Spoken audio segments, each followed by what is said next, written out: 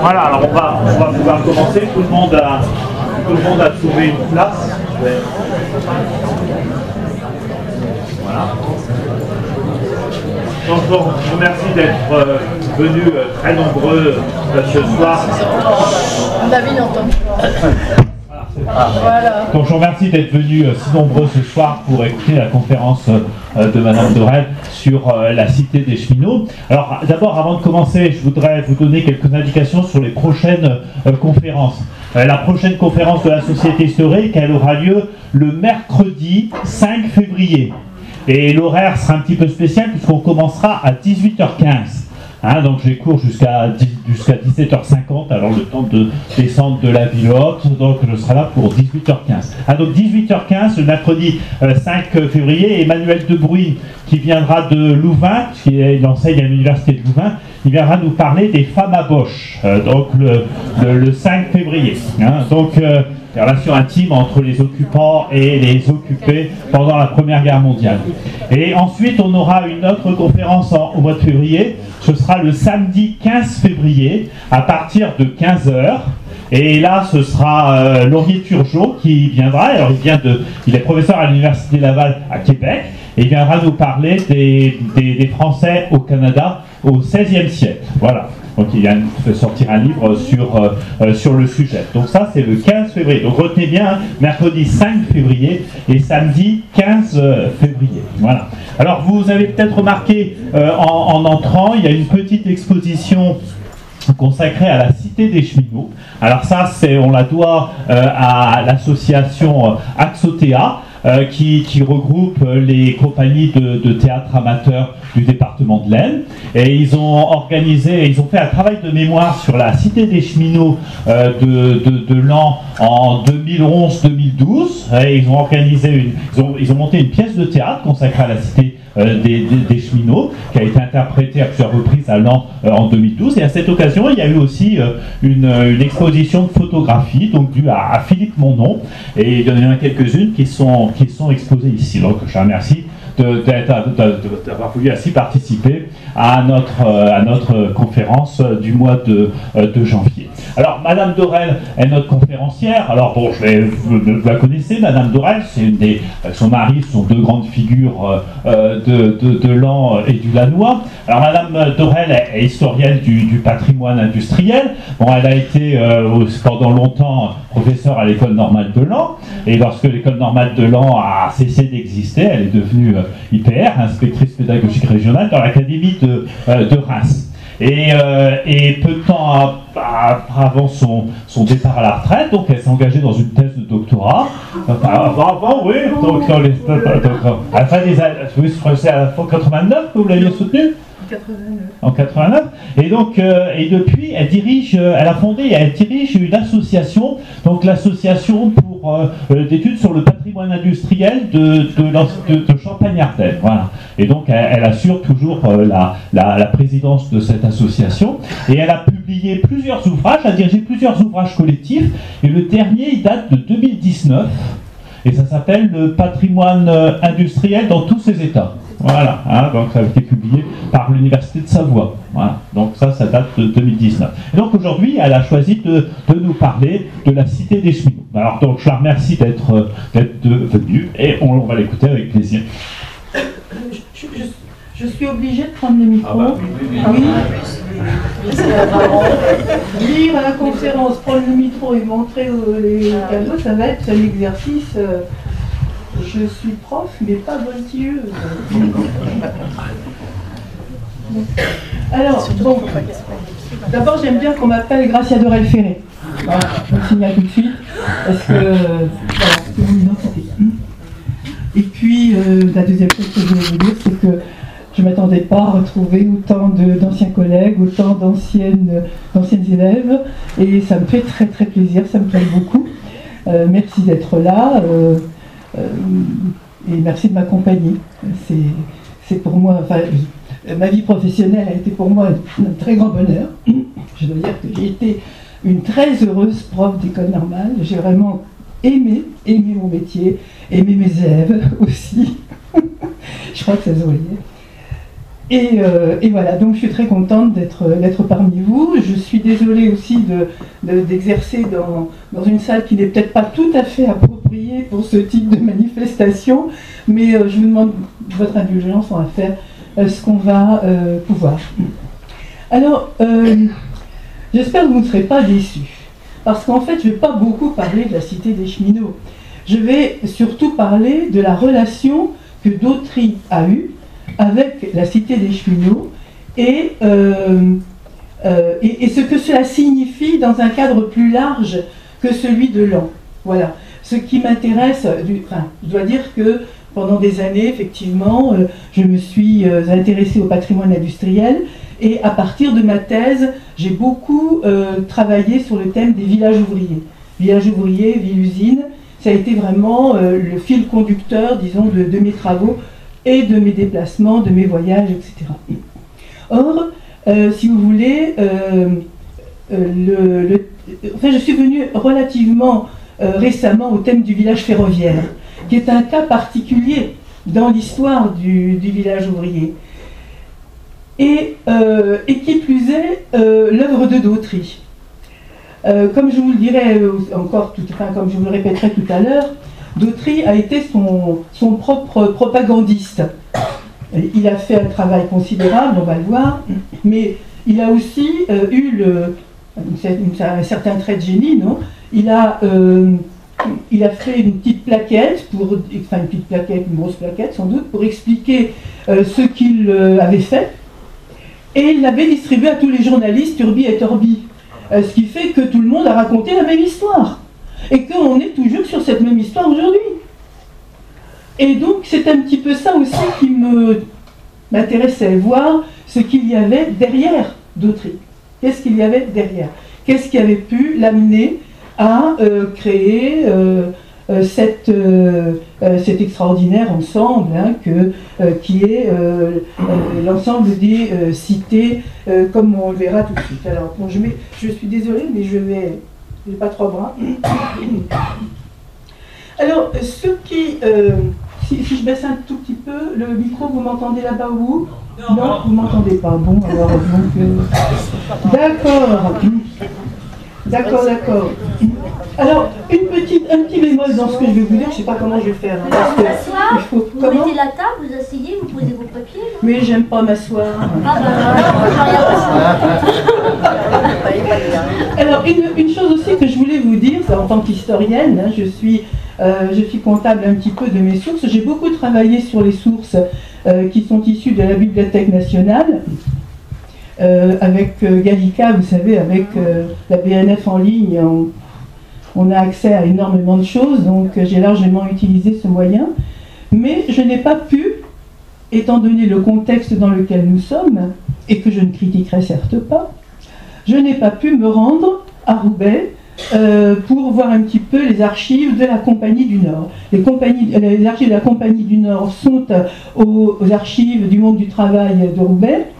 Et euh, les archives d'Autry, elles, elles sont aux archives nationales, au site de Perfit. Donc voilà deux sites que je n'ai pas euh, été visités.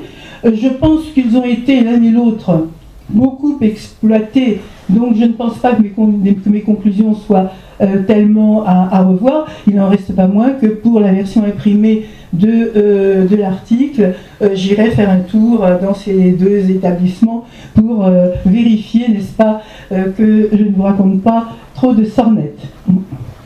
Alors, euh, qu'est-ce que je voulais vous dire d'autre? Mais oui, mais je ne vois pas si j'ai pas mes lunettes. Alors, oui, ce que je voulais vous dire aussi, c'est que euh,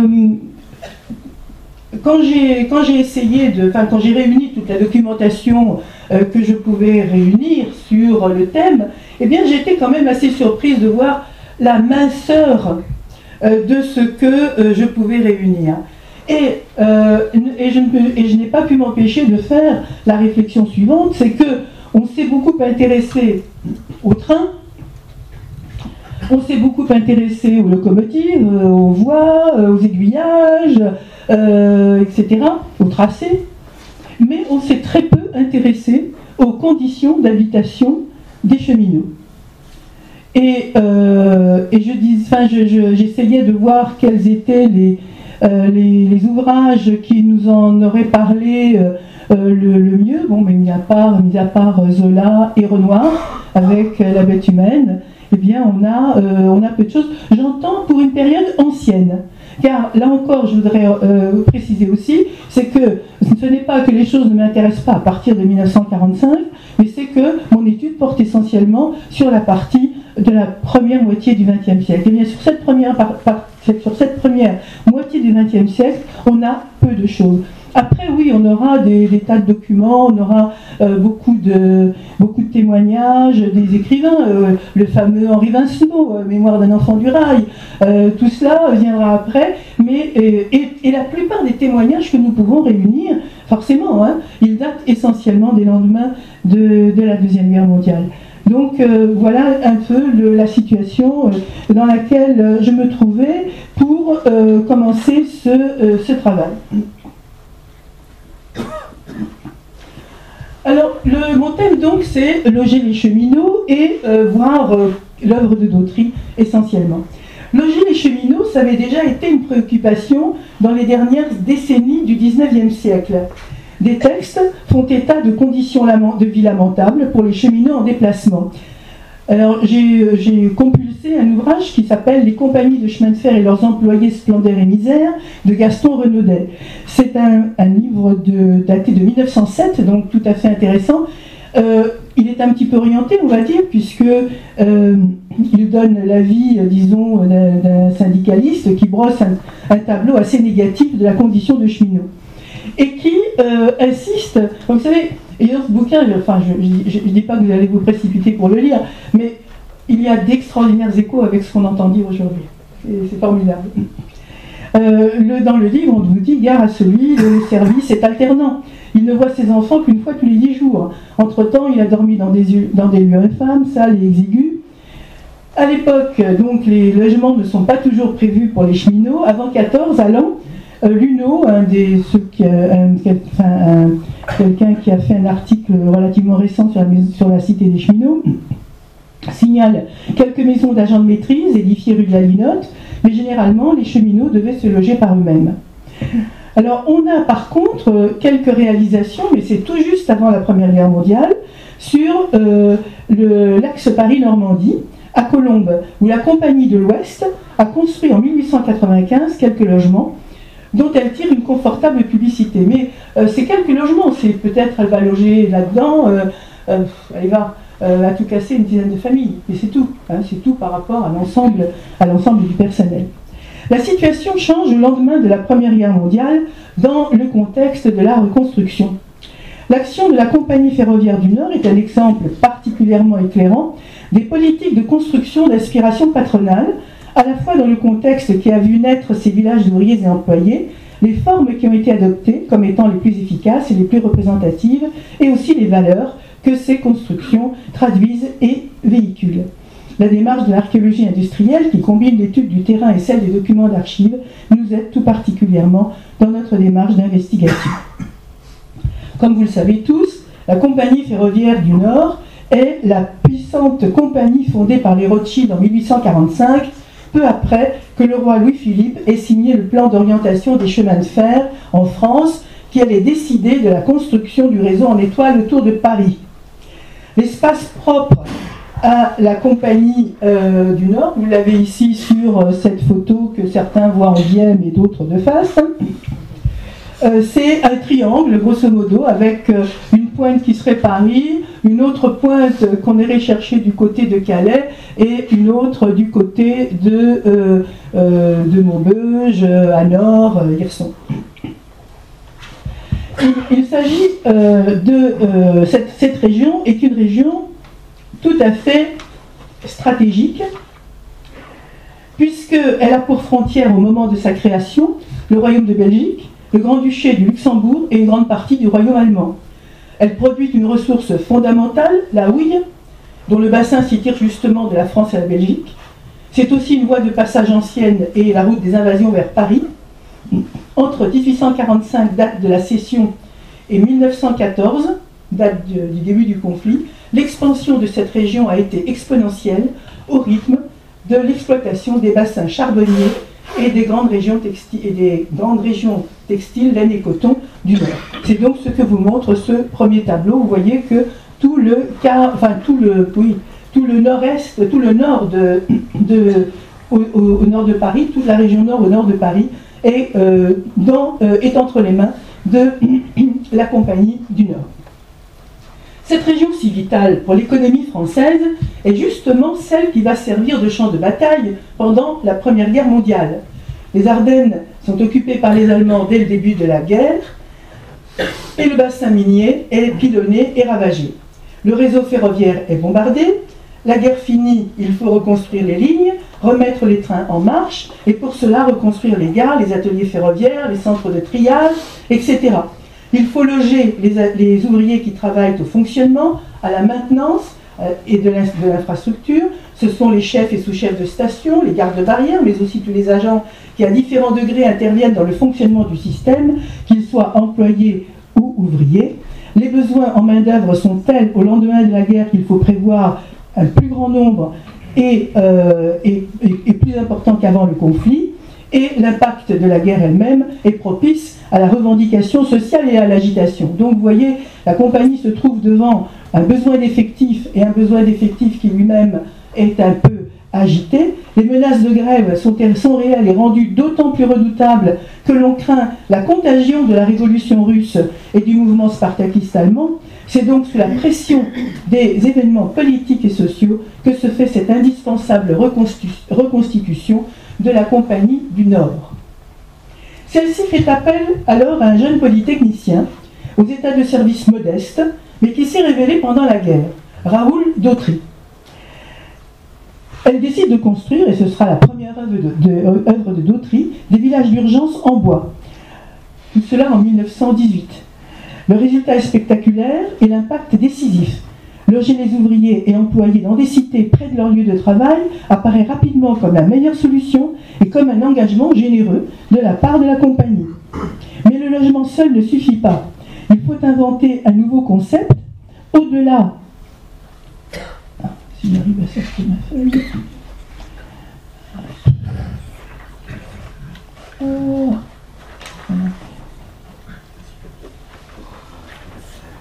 Au-delà de l'urgence, et la proposition de Raoul Dautry est audacieuse. Il s'agit pour lui de créer en un temps record tout un réseau ferroviaire dont les nœuds seront les villages d'un type nouveau, les cités de cheminots.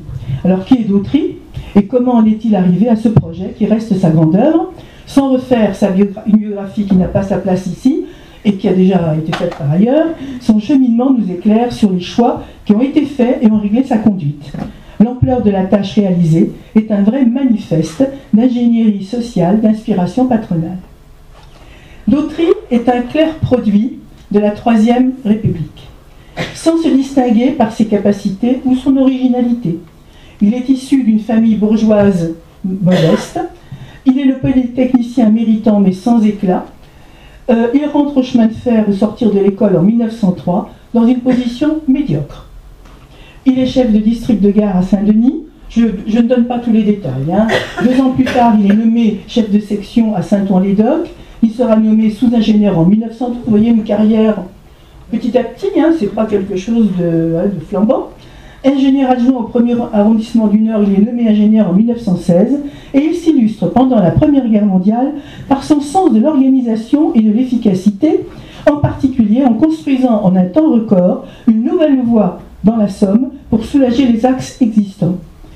Durant toutes ces années, il acquiert une sérieuse expérience de terrain. Elle ne concerne pas seulement le domaine technique, mais aussi la vision qu'il se forge du métier, qui le porte à considérer la dimension sociale du travail et de l'action qu'il juge indispensable et central. Les grands débats contemporains, ceux qui agitent la France dans cette fin du XIXe siècle, ont aussi inspiré son action. On peut en relever quelques-uns directement liés à son action future. Donc, euh, si vous voulez, je laisse de côté les, euh, les comment dirais-je, les, euh, le cheminement personnel de Gautry pour me limiter à ce qui a pu inspirer son œuvre et, pour les cités des chemins. Il, il, paraît que, jeune polytechnicien, Dautry aurait été intéressé par les idées saint-simoniennes, qui sont une sorte de credo pour le développement industriel. Mais en cette fin du siècle, l'industrialisation n'est plus un, débat, mais une réalité. Par contre, la gestion des conflits sociaux engendrés par l'industrie est à l'ordre du jour. Et c'est ainsi que Dautry découvre les idées de Lyotet à travers d'un article publié en 1891 qui s'intitule Du rôle social de l'officier dans le service universel.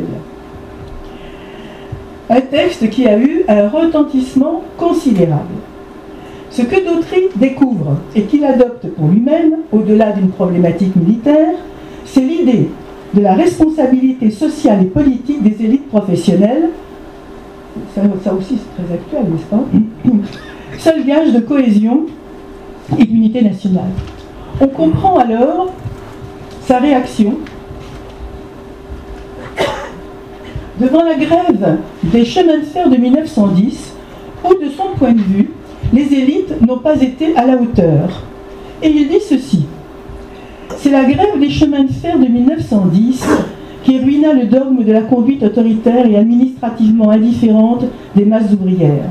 Quelques ingénieurs ressentirent ce jour-là l'insuffisance, l'injustice et pour tout dire l'inhumanité des méthodes administratives, comprirent que l'organisation et la discipline, qui sont les nécessités absolues du service, contiennent en puissance de l'insensibilité et aboutissent à la dureté si on les tempère, si on ne les tempère par la sympathie, par l'amitié. Ça aussi, ça pourrait être écrit en livre d'or, enfin en lettre d'or aujourd'hui. Hein, une entreprise ferroviaire, ajoute-t-il, n'est pas une hiérarchie, une pyramide d'organes séparés, mais une totalité sociale dans laquelle la qualité des activités est déterminée par toutes les données naturelles et toutes les conditions économiques et affectives de la vie. Cette vision sociale ne va pas à l'encontre de la nécessité d'un fonctionnement efficace et sûr. En 1912, l'observation du système ferroviaire nord-américain à l'occasion d'un congrès le conforte sur ce point. Autre question d'actualité. Le conflit qui s'ouvre entre l'Église et l'État et qui aboutit en 1905, donc euh, Dautry est strictement contemporain, à la loi de séparation. Dautry n'en parle jamais. Est-ce pourtant que la question religieuse ne, l'effleure pas, ne l'intéresse pas.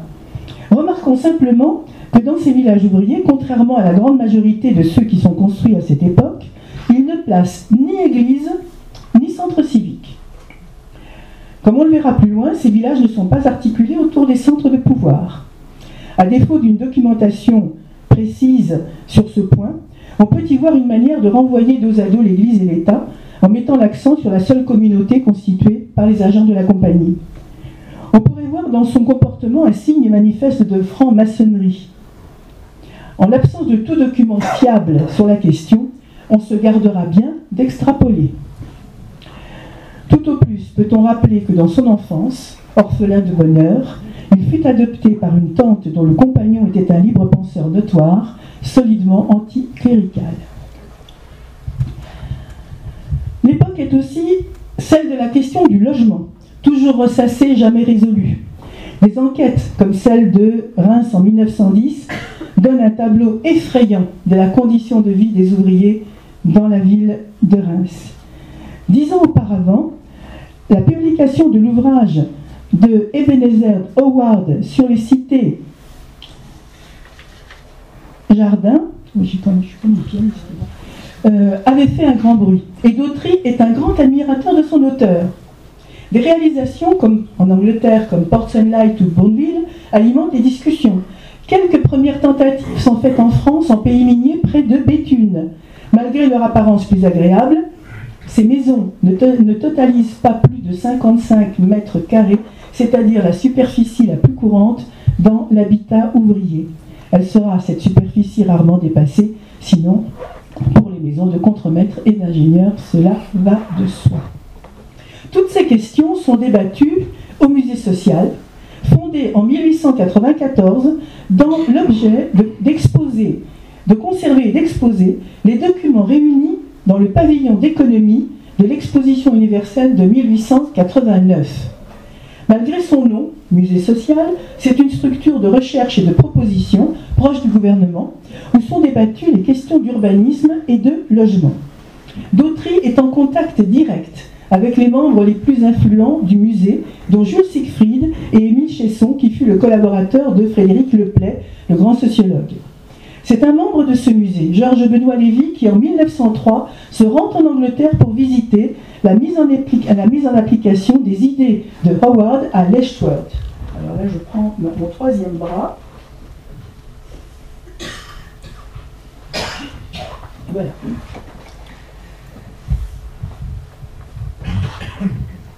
Alors voilà, euh, j'assiste. Alors je, fais une pause de deux minutes sur ce document, sur lequel je voudrais insister un tout petit peu, parce que d'abord, vous voyez une première chose, c'est que Ebenezer de Ward s'est exprimé à travers le cercle. Hein? Quand on dit euh, n'importe quoi sur Ternier, pensons que Ebenezer Howard a travaillé sur le principe du cercle et que c'est ça qu'il a, enfin, qui a été, enfin, ça a été reproduit par certains. Hein. Euh, n'ai pas voulu vous montrer, euh, vous, vous, noyer de documents, mais d'autres euh, urbanistes ont utilisé la, formule du cercle inspirée de Howard pour, pour des logements ouvriers ou pour des logements d'employés. Et vous voyez aussi la première interprétation qui est faite du vivant de Howard par l'architecte Unwin à euh, Letchworth. C'est-à-dire qu'on a en fait ici des modules d'immeubles avec des jardins intérieurs. Il y a des, espaces verts extérieurs et puis il y a des jardins intérieurs. Alors c'est tout à fait intéressant, mais enfin ça nous entraînerait très loin. Mais les constructivistes russes, par exemple, se sont inspirés directement de ce, module.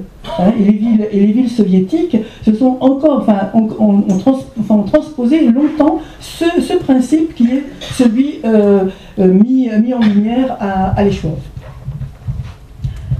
Alors donc, euh, on est dans ce contexte de, la cité jardin définie par, Howard, et quand Georges Benoît Lévy rentre, il revient convaincu et fonde au sein du musée social une section d'hygiène urbaine et rurale qui sera à l'origine de l'association des cités-jardins après la guerre, dont le rôle sera central. Et de son côté, Dautry s'engage devant ce que l'on considère comme un modèle social nouveau, et son implication est telle qu'en 1913, il devient président de la commission de l'habitation et de l'urbanisme au musée social, lequel le soutiendra et sera le co-fervent de ses initiatives en la matière par la suite. Je crois que cet aspect-là que je viens de détailler pour vous n'a jamais vraiment été pris en compte par tous ceux qui ont parlé de Dautry. On a, tout le monde a, bien, entendu euh, que euh, le discours de, l'article de Lyotet avait été euh, un moment d'inspiration pour lui, mais personne n'a compris l'impact qu'avait eu Ebenezer Howard à travers le musée social où donc Dautry a eu un rôle déterminant. Enfin, homme de son temps, Dautry est sensible aux questions de l'hygiénisme et de l'éducation physique. Le contexte est celui de l'intérêt pour la gymnastique, le sport, l'action de Pierre de Coubertin pour le retour à l'antique avec les Jeux olympiques date de 1894. Vous voyez, on est vraiment dans... Tout ça, c'est dans un mouchoir. Et l'engouement est partagé par tous. Les entrepreneurs voient dans les sports collectifs un entraînement à la discipline et au respect des règles. En outre, une équipe de football participe de la publicité de l'entreprise. On assiste donc à une floraison d'initiatives dans ce domaine, dont la plus étonnante, unique en son genre, est sans doute celle du marquis de Polignac, le patron des champagnes pommeries de Reims. Fasciné par les avantages que procure l'exercice physique pour la santé et le bien-être de l'individu, il crée un parc où les ouvriers de son entreprise pourront s'exercer à tous les sports.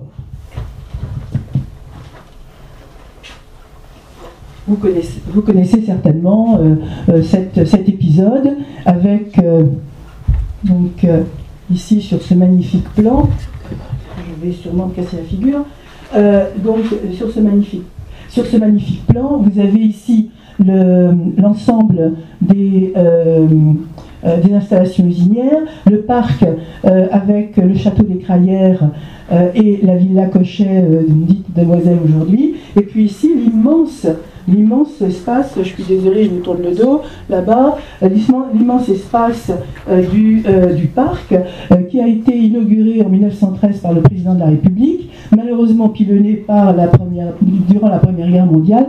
Du coup, ça a un petit peu refroidi les élans de notre marquis qui n'a pas reconstruit les choses à l'identique par la suite. Mais je crois que cette idée, alors si je vous parle de cela, c'est parce que le marquis avait travaillé avec quelqu'un qui était très en vue à l'époque et qui s'appelait Georges Hébert. C'était un, un militaire, enfin, excusez-moi, c'était un militaire. Euh, c'était un militaire qui était euh, adonné à la gymnastique et qui euh, voyait dans la gymnastique le moyen de l'épanouissement individuel. Il a eu beaucoup de succès. Il a eu beaucoup de succès. Euh, comment dire, euh, il a eu d'autant plus de succès, si vous voulez, que euh, Hébert avait toute une philosophie autour de, l'exercice physique. C'était évidemment le meilleur moyen d'écarter l'individu de tous les excès auxquels l'oisiveté entraîne. Donc, on retrouve sous cet habit formulé euh, les, préoccupations formulées dès le début de l'industrialisation par les industriels et les concepteurs euh, des villages ouvriers. Comment maîtriser le temps de l'ouvrier en dehors de l'usine? C'est ça qui est au cœur du, problème. Et ce même Hébert rencontre Dautry dans les années 20, on est bien toujours dans, dans, la, contemporanéité, et convaincu par sa méthode, Dautry fera appel à lui, vous verrez tout à l'heure que c'est tout à fait euh, considérable, il fera appel à lui pour les entraînements sportifs dans les cités des cheminots, et qui plus est, même lorsque Hébert aura quitté euh, la Compagnie du Nord, eh bien, il continuera à faire appel à Hébert pour venir faire faire le sport dans, euh, euh, ces, dans ces anciennes cités ouvrières. Donc, c'est vraiment quelque chose d'important que peut-être on n'a pas suffisamment souligné. Enfin, voyons maintenant ayant vu donc sur quel était le contexte dans lequel euh, le, bain de, de, culture, dans lequel euh, euh, notre héros se meut à la fin de, la Première Guerre mondiale, voyons comment il va s'en sortir avec son réseau de, cités et ce qu'il fait. En 1919, donc, la Compagnie du Nord confie à Dautry la, reconstruction du réseau du Nord que ce dernier mènera à bien entre 1920 et 1923. En trois ans de temps, en trois ans de temps, il fait un travail considérable. Euh, J'ouvre une parenthèse pour dire tout de suite que en 1925, euh, Dautry quitte le réseau et s'engage dans la compagnie, la seule compagnie d'État à l'époque, qui est l'ancienne compagnie de l'Ouest rachetée par l'État par la suite. Seul exemple, dit-on en riant, de euh, quelqu'un du privé qui s'en va vers le public alors que d'ordinaire, c'est le contraire qui se passe. Donc, l'originalité du projet de Dautry consiste en mettre en place un, service un, système ferroviaire nouveau, donc comme je vous le disais, dont chaque nœud correspond aux ateliers de fabrication, de maintenance, et chaque nœud a un village spécifique destiné aux travailleurs du rail. Et pour l'architecture de ces cités-jardins, euh, Dautry s'inspire des cités-jardins que l'on commence à construire autour de Paris. En trois ans, il construit 2300 km de voies, 338 gares, 811 ponts, 5 tunnels, 8, viaducs, 5000 logements en bois, plus de 6000 logements en dur, et c'est déjà bien comme ça. Au-delà des nombres, le concept de cheminot, de cité de cheminots qu'il met en place, traduit les idées qu'il a pu accumuler sur le sujet, mais révèle aussi par ailleurs, tout ce qu'une entreprise privée, en l'occurrence la Compagnie du Nord, pouvait accepter de promouvoir dans des circonstances exceptionnelles.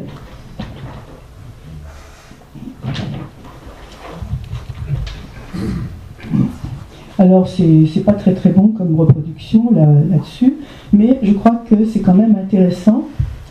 C'est quand même intéressant de voir donc le, voilà le réseau que construit Dautry. Euh, bon, euh, la, enfin, la, projection est, pas, très, pas très bonne, mais peu importe. Ce que vous voyez nettement, c'est qu'au cœur de ce réseau, il y a Ternier, mm. au cœur du réseau. Et ensuite, il y a quelques points d'appui, ce sont ces, ce qui est en rouge. Hein, vous avez Longo, vous avez Lance, L'île là-haut, Béthune, enfin l'île c'est l'île de la délivrance, hein, c'est l'autre grande, grande cité. Et vous voyez l'an qui est ici, qui n'est pas si petite que ça, parce que l'an euh, est à la croisée de deux grandes voies importantes. Et, euh, donc, euh, on, a choisi cet endroit pour faire des, pour faire des installations de, réparation et ben, avec la fameuse, après la Deuxième Guerre mondiale, la fameuse rotonde dont on ne sait que faire. Donc vous voyez ici, il y a vraiment, ce qui est intéressant, c'est de voir un réseau hiérarchisé. Un réseau hiérarchisé et dont le cœur est, évidemment, est ici. Est ici, donc voilà, et, et, tout près. Voilà, donc euh, un, ensemble qui, euh, qui en fait n'a jamais été étudié en tant que tel. Hein. Euh, là, il y a une mine de, mémoire, de maîtrise à faire hein, ici. Hein. On continue. Euh, donc euh, voilà. Alors, quels sont les principes de l'organisation de ces cités ferroviaires? Tout se résume en trois mots santé, éducation et culture, ce qui suppose des maisons saines et un équipement diversifié.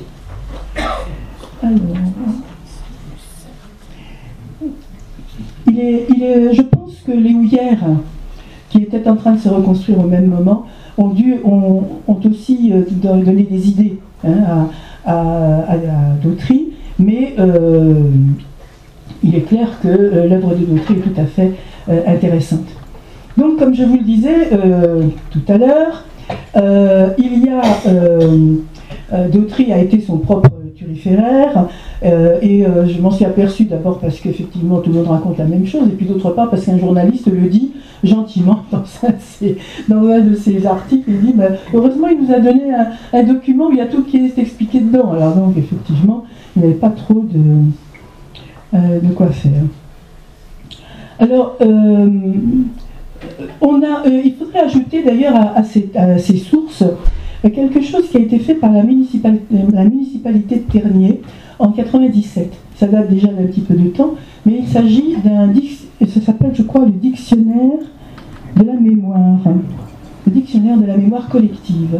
Dictionnaire de la mémoire collective. C'est une véritable mine parce que là, il y a eu des quantités de gens qui ont été interrogés et euh, effectivement, euh, on, a, euh, on, a, on, a, pas mal de, pas mal de choses qui sont qui apparaissent, hein, l'amour des habitants pour leur cité, dans laquelle ils ont connu un confort et des conditions de vie qu'ils estiment à juste titre uniques, alors que la France du Nord est en pleine reconstruction.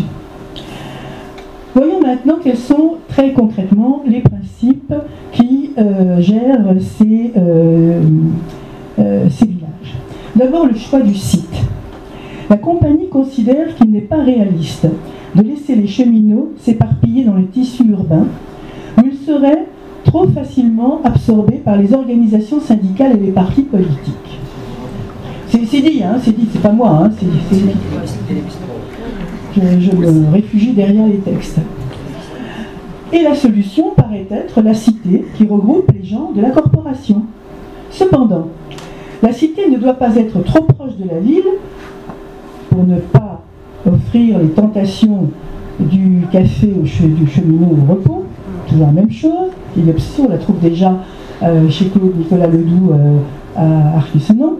On, on, établira donc les cités de cheminots à l'écart des agglomérations, mais pas trop, pour ne pas faire un corps totalement étranger. Donc vous voyez, il y a une sorte de choix. C'est pas un choix comme ça, hein, c'est vraiment quelque chose de tout à fait pensé.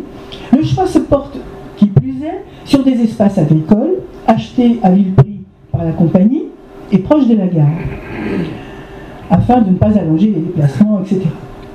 Quelquefois, une simple passerelle relie la cité aux voies ferrées, le long desquelles sont répartis les ateliers et le dépôt. En général, la distance entre la cité et la gare oscille entre 1 km et 1 km et demi. Le territoire ainsi réuni est loti en portions de 500 mètres carrés environ, sur lesquels on édifie les maisons qui ont toutes les mêmes caractéristiques, mais qui ont toutes une grande variété formelle.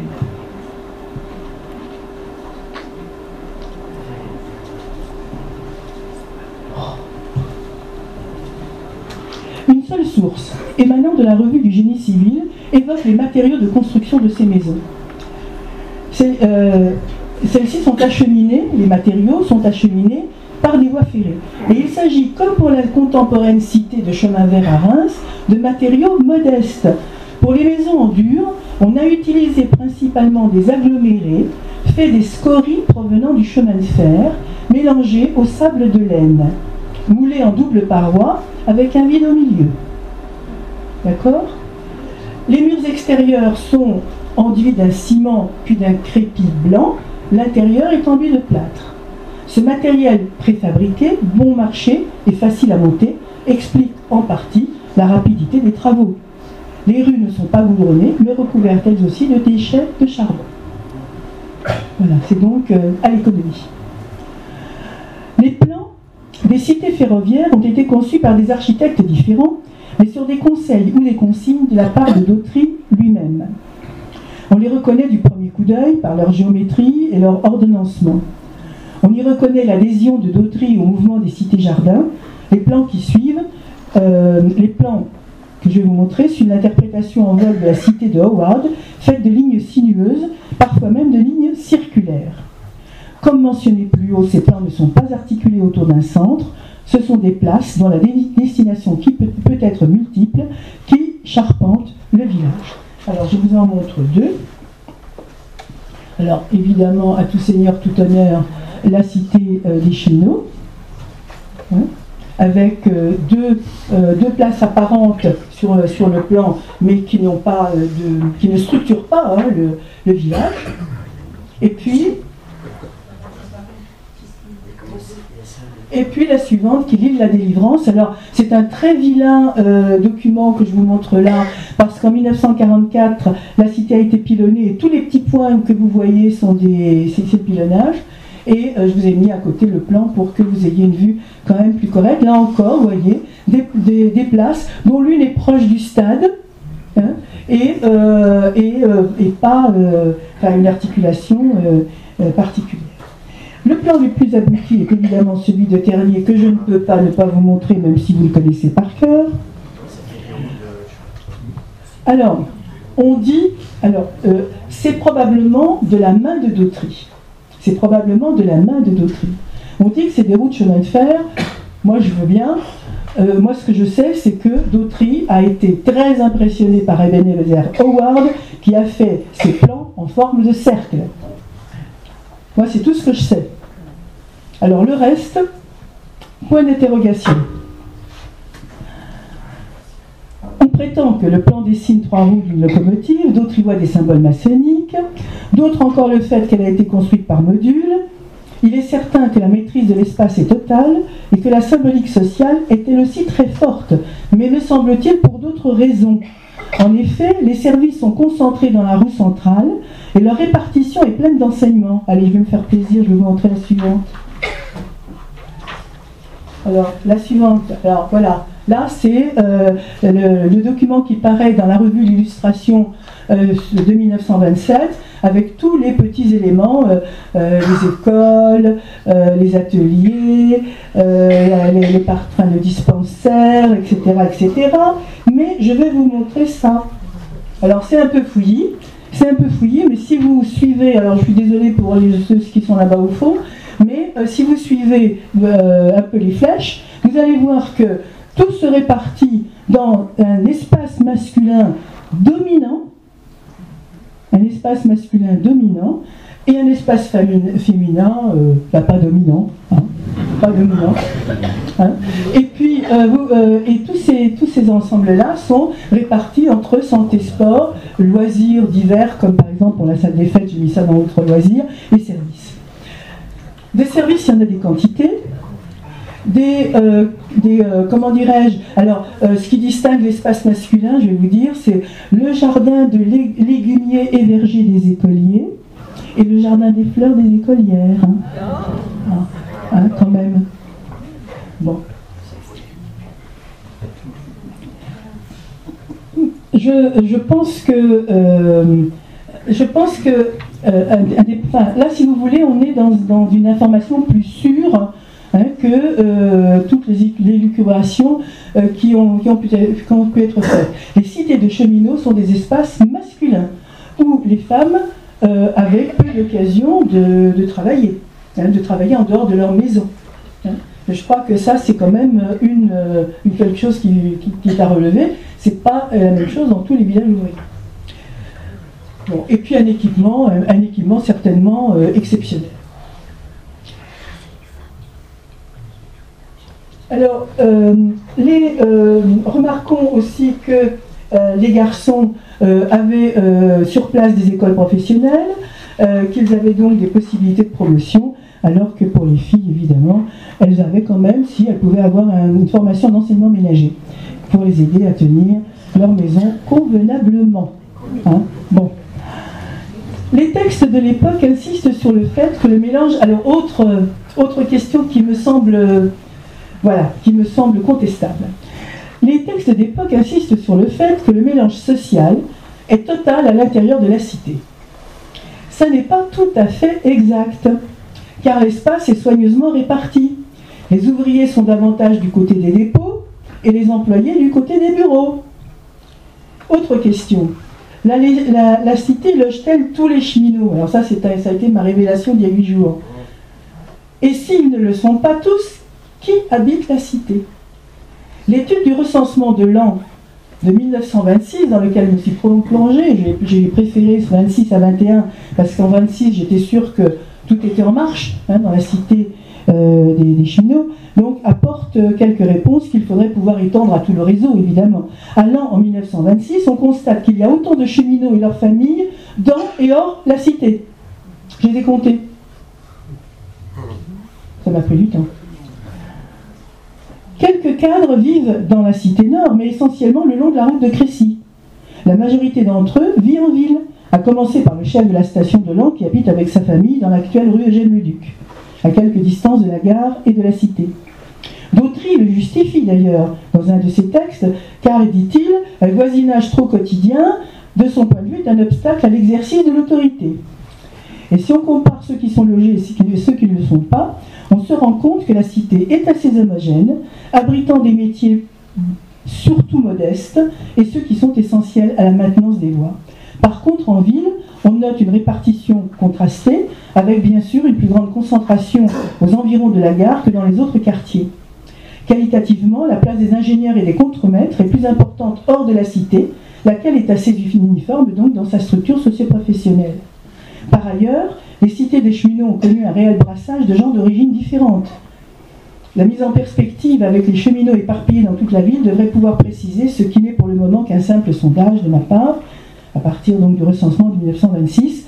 Il serait intéressant de l'appliquer aux autres cités de cheminots, mais déjà, peut-être, euh, une prochaine conférence pourrait être la place des cheminots à Lens. Parce que euh, ça, je crois que euh, ce serait tout à fait intéressant. Ils ont été une corporation très très présente qui a marqué. N'oublions pas que les cheminots avaient un costume et que par conséquent, ils se distinguaient visuellement de tous les autres.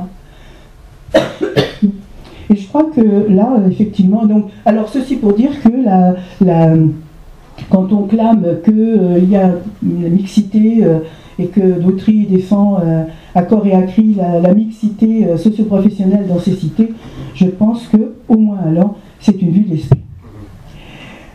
Les plans des maisons se situent dans la droite ligne de ce qui doit être un anti-coron. Voilà. C'était au, début du XXe siècle le coron était, absolument l'ennemi à abattre.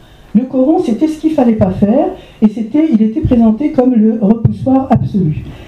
Euh, on a donc choisi, on a donc fait un véritable effort euh, euh, sur la maison. on a fait un véritable effort sur la maison.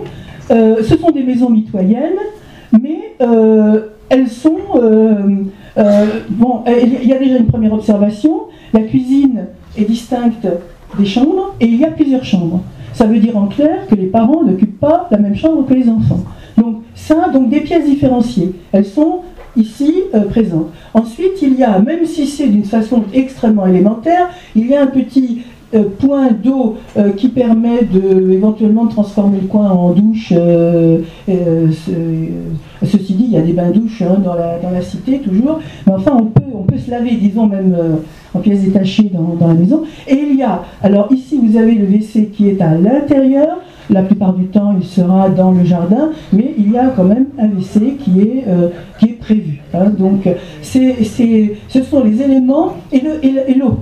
L'eau qui est euh, souvent sur le sur mais qui est à, minima à, euh, à, la, porte, hein, pas loin, où on peut, on peut aller chercher l'eau. L'électricité partout. Donc si vous voulez, l'eau, l'électricité, euh, la possibilité d'avoir du bois, un, un, confort certain, je dirais même, on est dans les années 30 hein, quand même, dans les années 20 et années 30, euh, ce sont des maisons qui euh, peuvent, peuvent, paraître alors entourées de petits jardins où l'on peut avoir de la volaille, où l'on peut avoir un jardin de fleurs, mais aussi faire pousser euh, quelques, légumes, euh, ça peut passer pour être le, euh, le début de la félicité.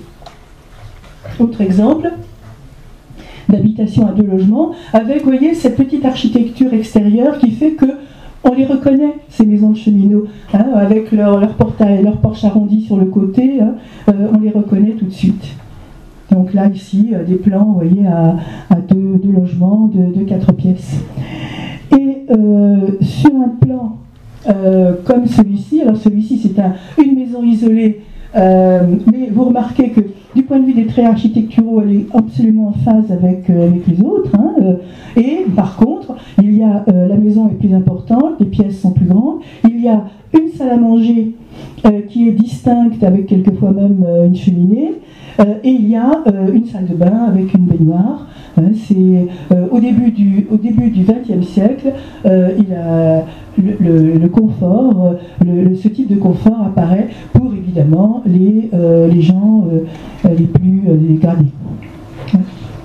Alors ça donne des choses comme ça en, en, extérieur, mais on a, on a, on a, on a l'équivalent hein, à la cité des, des ou encore comme ça quand il s'agit d'une maison isolée.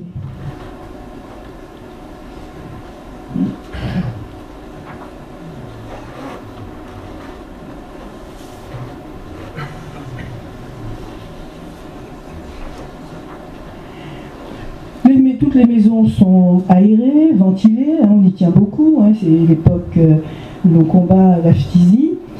Euh, et, voilà, donc que ce soit un petit euh, employé ou que ce soit un cadre, il a dans, une, dans une architecture relativement homogène, il a le nécessaire et quelquefois même le superflu. Les logements ainsi construits sont attribués en priorité au personnel d'astreinte et aux cadres qui ont la responsabilité du site. Puis viennent les familles nombreuses, etc. Bien sûr, il s'agit de logements loués et non pas d'accession à la propriété, car nous dit-on, la cité est construite pour le service et non pas pour la sédentarisation abusive de son occupant. Vieille question qui a traversé le 19e siècle, les patrons redoutent plus que tout que les ouvriers exercent à leur profit le droit inaliénable de la propriété, inscrit pourtant dans la Constitution, et plus concrètement, ce qu'ils redoutent, ce sont les sous-locations que l'ouvrier multiplie pour avoir une source euh, complémentaire de revenus. Donc euh, voilà, les, jardins euh, sont l'objet de soins et il y a des associations d'horticulture à laquelle on engage vivement le, comment dirais-je, le locataire à, adhérer. Il y a même des concours euh, à trois euh, tous les ans, euh, etc. un responsable de la cité se charge de, comme d'ailleurs dans les autres cités que nous connaissons, se charge de, ben, de veiller à ce que tout se passe bien.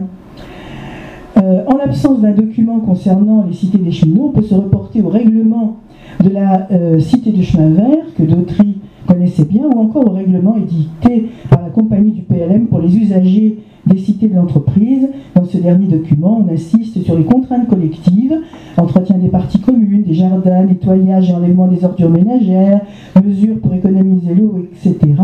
Toute initiative concernant la cité requiert l'accord préalable du directeur général et toute modification sur un logement doit avoir l'avis favorable du chef de district chargé de l'entretien de la cité.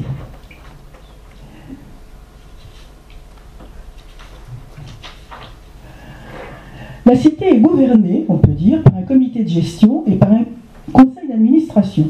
Toutes les cités de la compagnie du Nord sont gouvernées par un comité de gestion et un conseil d'administration qui transmettent régulièrement un rapport de leurs activités et de leurs résultats à la hiérarchie, laquelle donne son avis. Ce sont eux qui gèrent et développent les nombreux services mis à portée des habitants.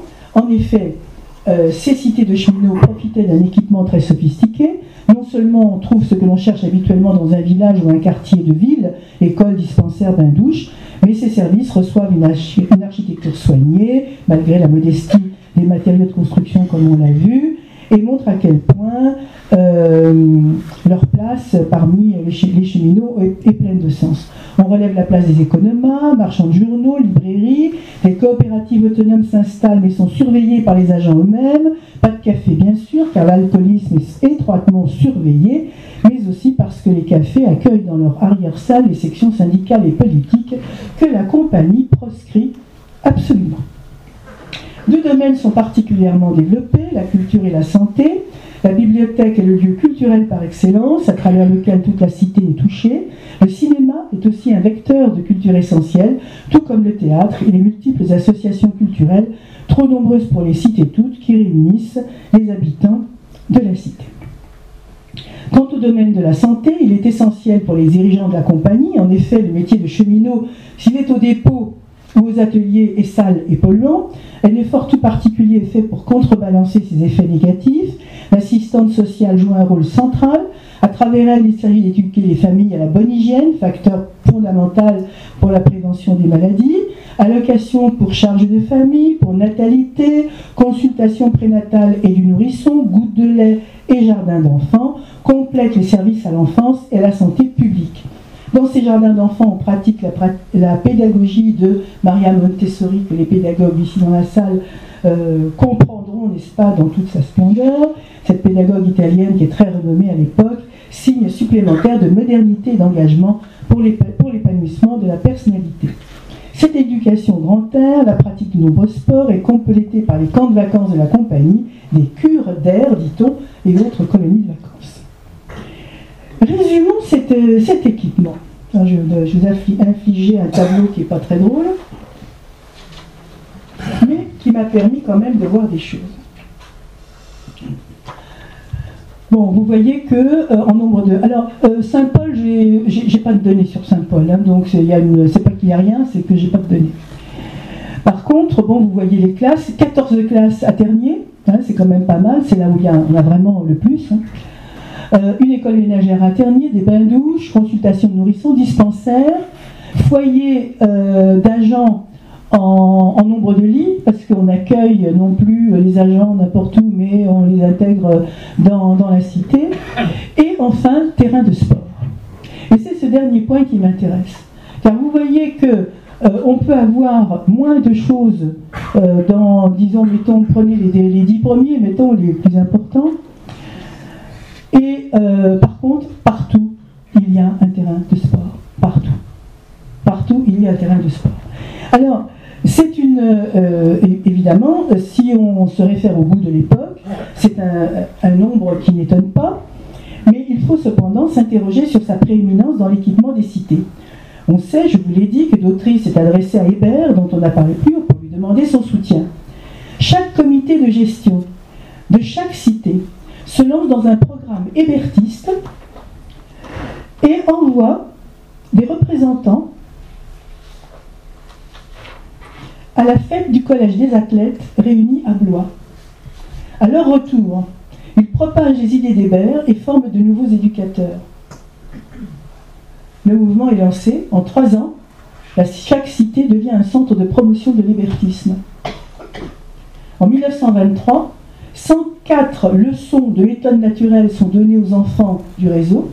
Hébert finira même par favoriser la pratique généralisée, pardon, Dautry finira même par favoriser la pratique généralisée de l'hébertisme, cela même à limiter les progrès des idées socialistes au sein des cheminots, auxquels Dautry est farouchement opposé. Lorsque Dautry quitte la Compagnie du Nord en 1928 pour celle de l'État, l'ancienne Compagnie de l'Ouest que l'État avait rachetée, il continue à voir Hébert et à faciliter son action dans les cités de la, de la Compagnie du Nord, preuve s'il en est de l'importance qu'il attachait à cette forme d'épanouissement corporel. Tout cela aboutit à une culture commune, à travers laquelle le cheminot s'identifie, d'autant qu'il est le principal acteur et le principal responsable. Comme on l'a vu plus haut, un comité de gestion gouverne la cité.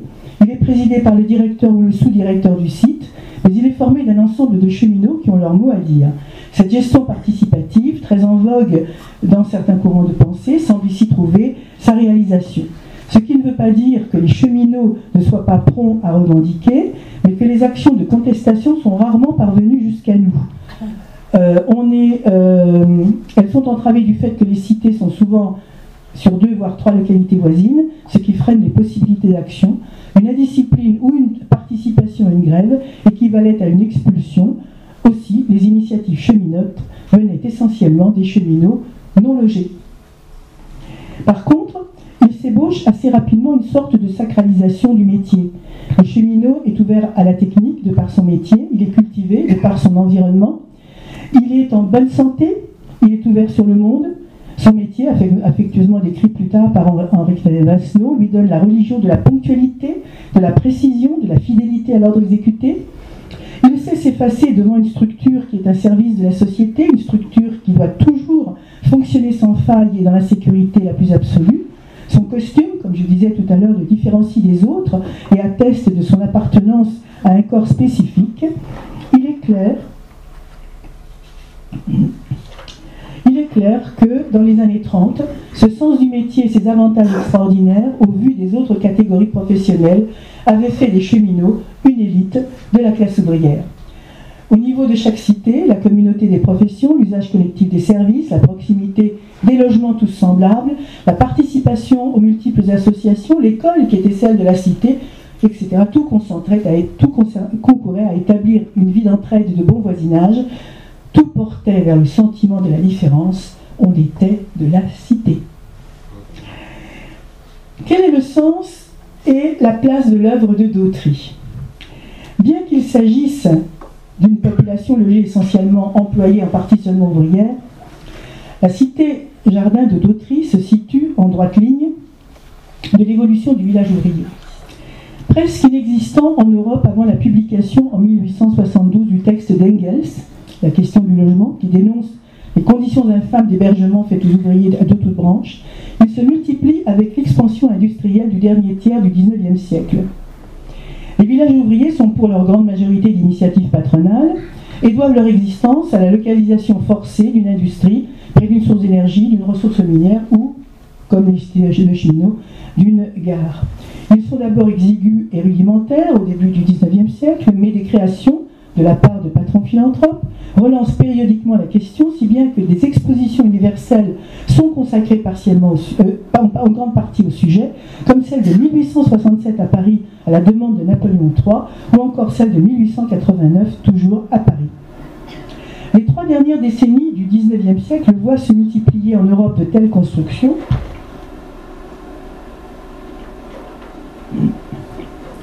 Il s'agit pour la plupart comme euh, de construction, euh, les, habitations sont en général modestes, mais avec des pièces différenciées, une cuisine à part, comme dans les cités de cheminots. La surface tourne autour de 55 mètres carrés, rarement au-delà. Euh, mais, alors, je, fais quand même une petite pause pour, vous présenter ce document qui serait vraiment le, prototype, le prototype d'un village ouvrier lambda, hein, je veux dire. Hein. En quoi en quoi est-ce euh, exemplaire? Bah, Vous avez ici l'ensemble de l'usine, vous avez ici l'ensemble de la cité ouvrière, et ici la maison patronale avec son parc. Et vous voyez que dans tous les villages, hors de, ceux qui ont été fondés par Dautry, dans tous les villages, vous avez l'église au milieu de la population ouvrière. Hein. Et ici, donc, comme je vous disais, euh, euh, la maison du maître et l'église. Voilà. Donc, ce sont les et, leur position est évidemment très, comment dire, très, très éclairante. Hein. Ils sont, ils sont là pour encadrer hein, cette population ouvrière. On trouve ça un petit peu partout. Donc, par exemple. Euh, donc, euh, comme je vous disais, euh, ces villages ouvriers, la particularité de ces villages ouvriers, c'est qu'ils n'ont jamais réussi à loger toute la main-d'œuvre. Exactement comme chez les cheminots. Chez les cheminots non plus. Nous avons vu qu'il y a au moins, c'est moins du 50% à, peut-être même que la population non logée est plus importante. En général, dans les gens du textile, comme c'est le cas ici, la population logée euh, oscille entre 25 et 30 les, euh, Odette euh, Hardy-Emery, qui, a, beaucoup travaillé sur les cités de cheminots autour de l'île de la Délivrance, a étudié le cas de Somain, où seuls 20% des cheminots vivaient dans la cité, alors que les autres étaient en ville.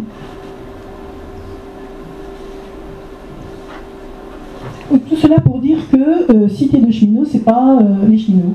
Hein, c'est une partie seulement. Parmi les villages ouvriers, les cités de cheminots de Dautry appartiennent à un courant bien précis, celui des cités jardins, issu du débat sur le logement social à la fin du XIXe siècle. À cette date, la construction la plus courante est celle d'un plan géométrique. euh, enfin, à cette date, euh, le plan le plus connu était le plan géométrique type coron, c'est-à-dire euh, on est face à l'usine et c'est une ligne de, maison euh, continue. Les quelques exemples les plus connus, et inscrits d'ailleurs pour la plupart au patrimoine mondial, montrent une organisation relativement égalitaire. C'est ça aussi qu'il faut retenir peut-être ici. ça montre une organisation relativement égalitaire face au patron. Par exemple ici, vous ne voyez pas, ce sont des immeubles, et vous ne voyez pas de logement attribué particulièrement à un cadre ou ils sont tous logés à la même enseigne. S'ils habitent ici, ils ont tous la même maison. Et, euh, les, si vous, et ceux qui connaissent parmi vous euh, la, cité Meunier, à, Noisiel, euh, se rappellent que les maisons sont, sont, toutes, sont toutes identiques.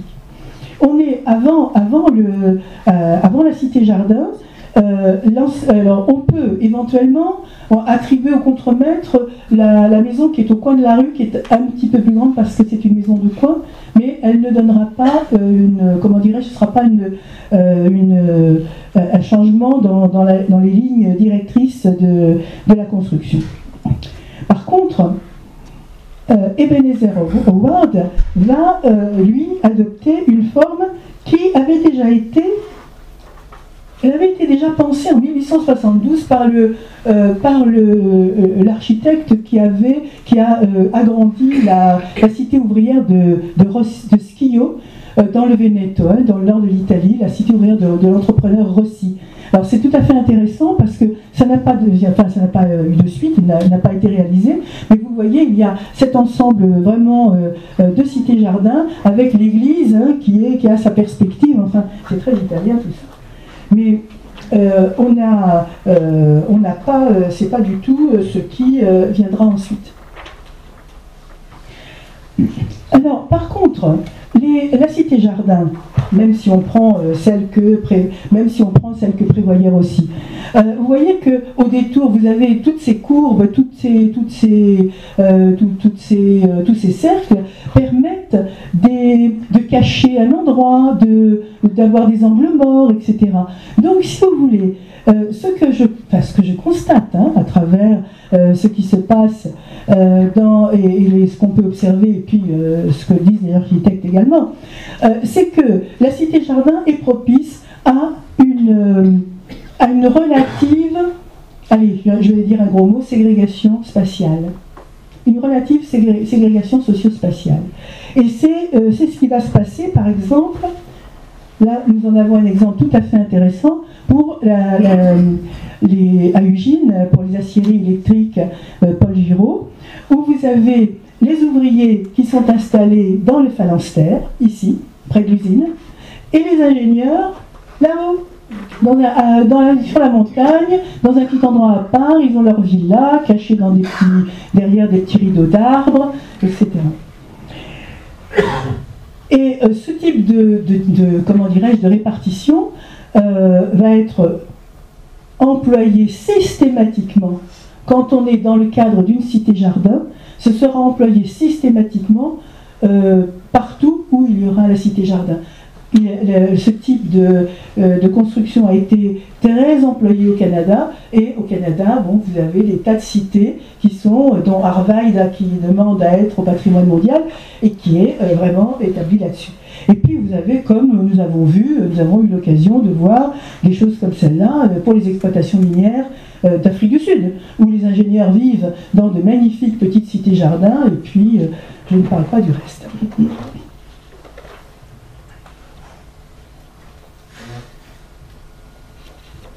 Alors, je suis désolée parce que je ne suis pas très habile dans les doigts.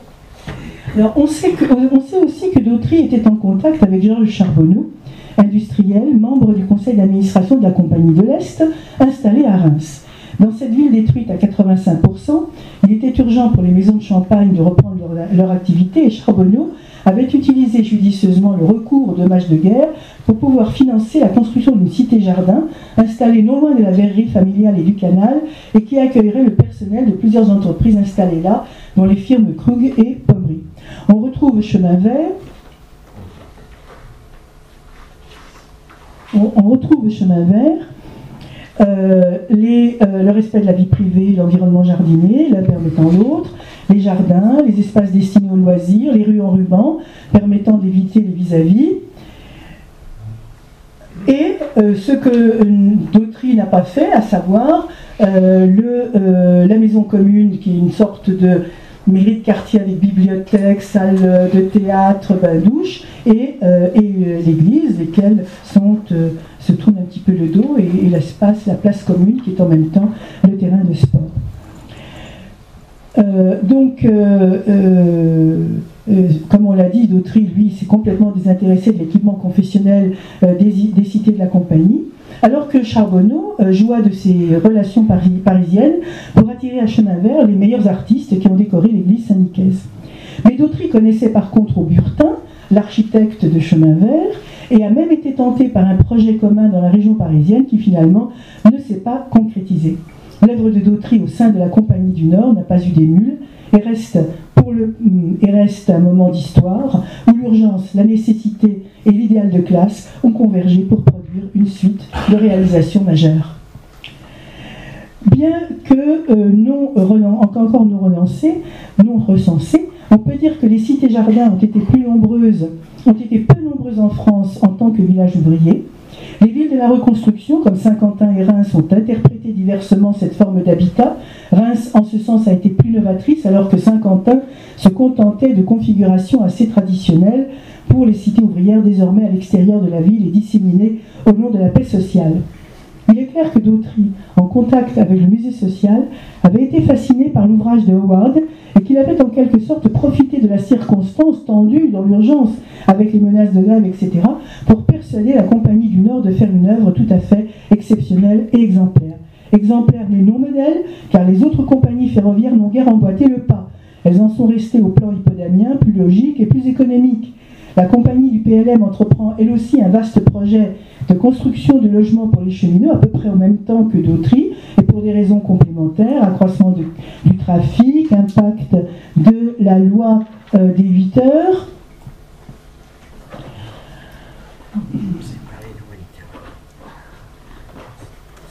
Ah, c'est pas les bonnes pages. Ah ben voilà, je sais plus où j'en suis dans les pages.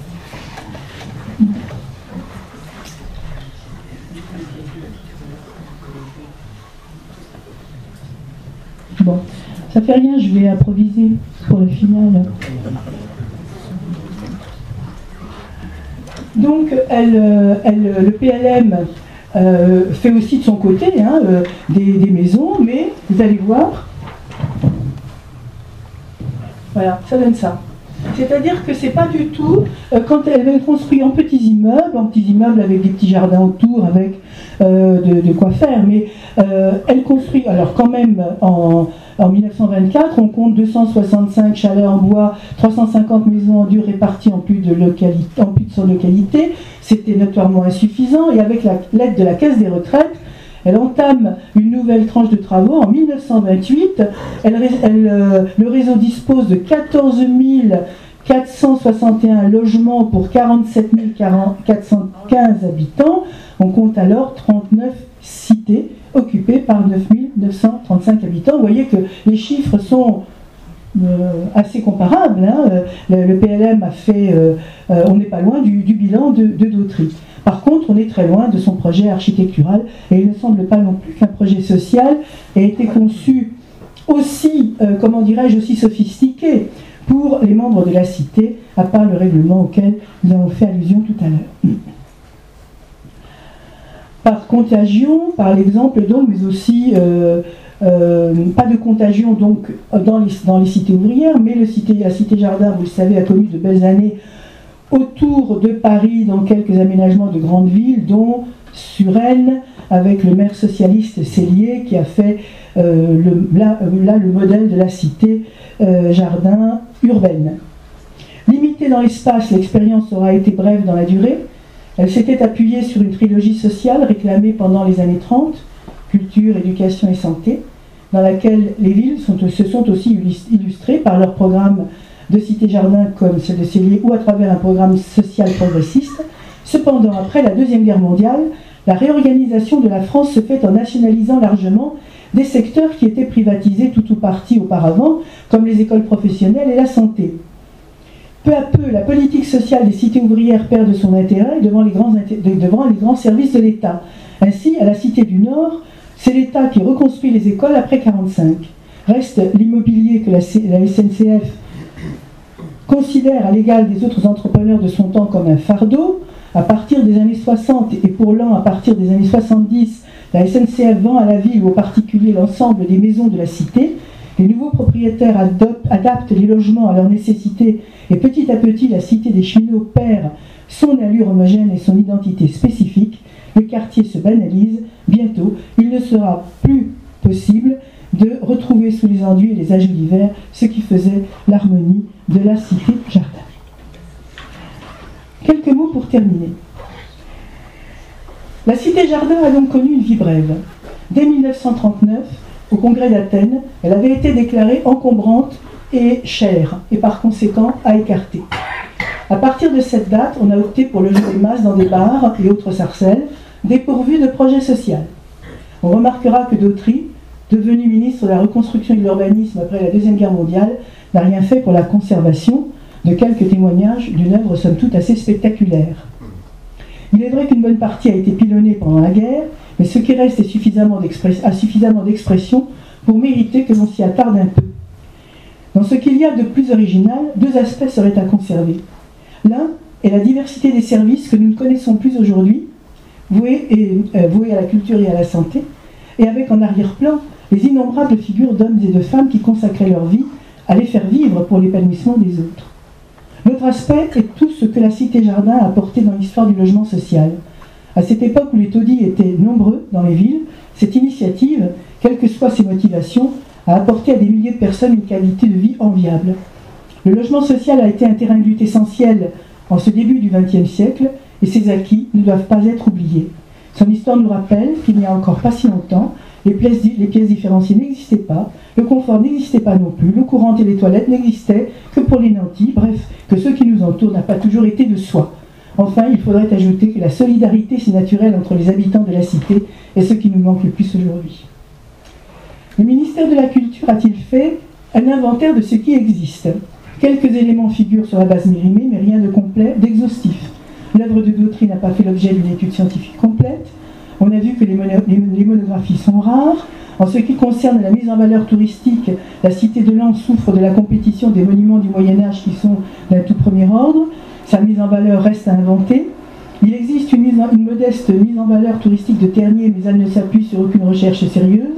À l'heure où l'on se préoccupe du patrimoine, il serait bon que quelque part on puisse voir et entendre euh, ce qui a été un moment important de notre histoire. Dans certains pays, en particulier dans le nord de l'Europe, au Danemark, en Suède, on a créé des musées du travail et de la vie quotidienne. On pourrait s'en inspirer de leur expérience. C'est un chantier exigeant mais nécessaire qu'il faudrait s'atteler, seul antidote contre l'oubli.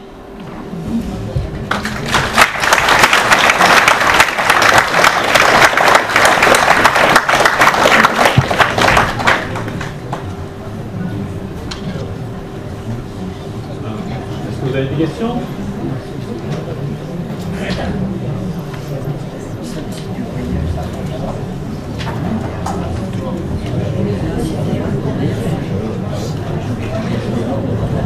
Je vous ai tué. Ils sont plus capables de bouger ni de rien dire. C'est tout ça le premier exemple. En tout cas, merci beaucoup. Mais pourquoi ils ne faisaient pas des, des immeubles collectifs pour avoir plus de monde Ça les intéressait pas C'était trop cher euh, dans- cheminots, on n'avait pas de place? Ça a été, euh, ça, s'est fait après. Ça s'est fait après.